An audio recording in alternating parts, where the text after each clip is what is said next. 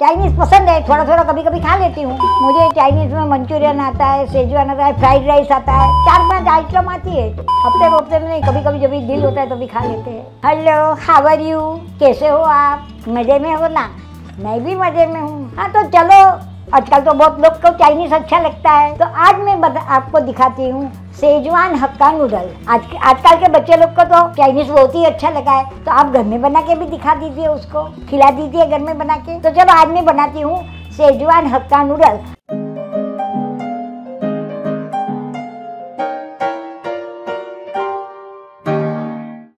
हाँ तो हमने लिए है ये नूडल हमें इसमें चाहिए कैरेट यानी गाजर। आधा गाजर लिया है हमने। थोड़ी सी गोभी ली है मतलब एक बाउल भर के हमने गोभी के पत्ते लिए हैं। आधा शिमला मिर्च लिया है। हमें इसमें चाहिए आजीनोमोटो जो बाज़ार में मिलता है, इसे अपना चाइनीज़ का स्वाद बहुत ही अच्छा रहता है। तो उसके लिए हमने चुटकी भर लिया है आजीनोमोटो हमें चाहिए उसमें बारीक कटा हुआ लहसुन तो मैंने लिया है बारीक कटा हुआ लहसुन। ये हमने लिया है chilli sauce, red chilli sauce तो ये रेड चिल्ली सॉस। नमक, ये सोया सॉस सेजवान सॉस। क्योंकि हमें सेजवान नूडल बनाना है तो सेजवान सॉस तो ज़रूरी है।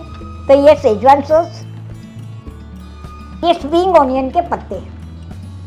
तो चलो, हम बनाते हैं शेजवान हक्का नूडल। हाँ तो सबसे पहले मैंने पैन रख दी है गैस पे। अब मैं गैस चालू कर देती हूँ।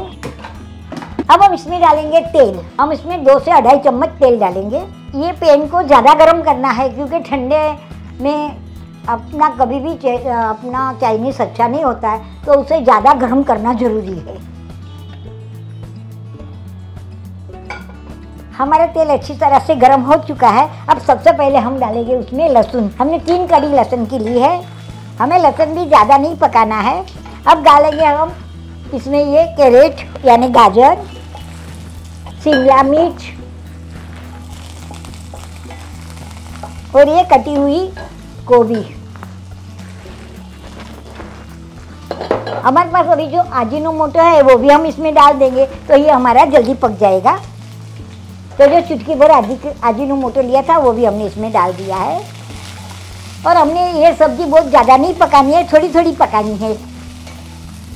अब हम इसमें डाल देंगे चुटकी भर नमक, जो हमें स्वाद अनुसार नमक चाहिए। क्योंकि नूडल में भी हमने नमक डाला है तो हमें जितना नमक चाहिए, वो स्वाद अनुसार नमक डाल देना है। हमें ये सब्ज़ी ज़्यादा नहीं पकानी है, ज़रा बस हो गई है हमारा सब्ज़ी रेडी।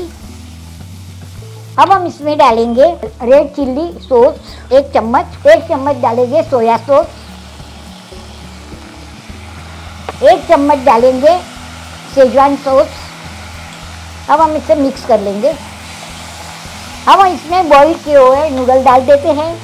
हमें इसे छोटे छोटे नूडल डालने हैं। अभी हमें अच्छी तरह से इसे मिक्स कर लेना है।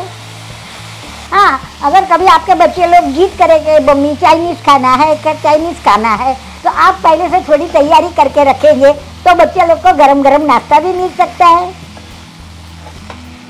हाँ अगर आपको ज़्यादा तीखा चाहिए तो आप ज़्यादा सेजवान सॉस भी डाल सकते हैं। मुझे भी ज़्यादा थोड़ा तीखा पसंद है तो मैं थोड़ा एक चम्मच और भी सेजवान सॉस डाल देती हूँ। हाँ अब हमें ऊपर से डालने हैं ये स्प्रिंग ओनियन के पत्ते। तो लीजिए, हमारे नूडल तैयार है। आ जाओ बच्चे लोग खाने। गरम गरम नूडल चलो मैं आपको सजा के दिखा देती हूँ नूडल तैयार हो गए। हाँ तो हमारा सेजवान हक्का नूडल रेडी है। आ जाइए, खाइए, बनाइए और खिलाइए।